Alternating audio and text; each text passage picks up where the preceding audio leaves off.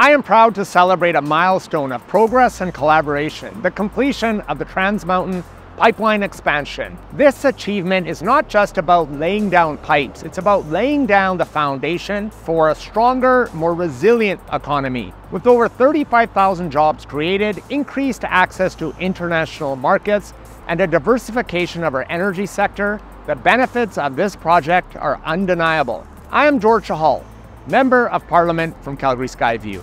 What sets this accomplishment apart is not the physical infrastructure, but the spirit of cooperation that made it possible. It's about governments, industry, and communities coming together to achieve a common goal. This is the essence of good governance, putting aside partisan differences and working towards the greater good. Unlike the conservatives, who like to talk a big game but don't deliver. How many pipelines did Stephen Harper build?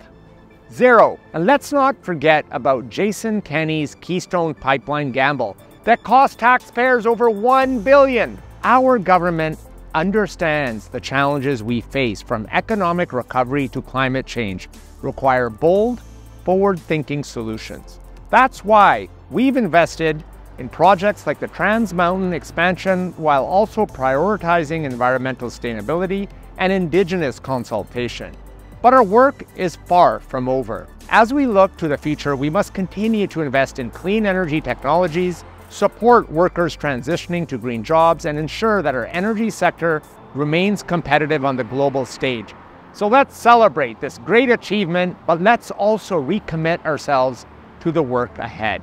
Together, we can build a future that is prosperous, inclusive, and sustainable for all Canadians.